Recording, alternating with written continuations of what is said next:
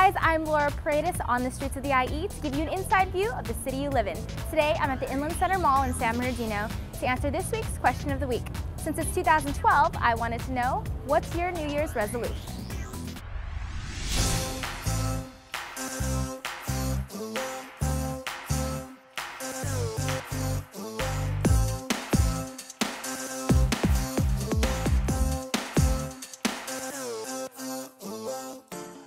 My New Year's resolution would be to be stress-free.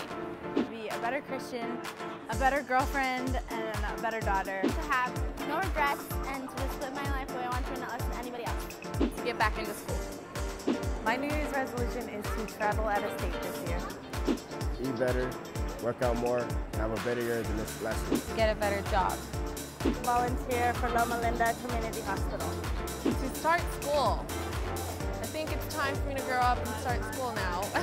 It's a year without any expectations. Um, it sounds really depressing, but it's really cool because it's like if you don't expect anything, you're never disappointed. When you get cool stuff, you're like, oh my God, this is awesome.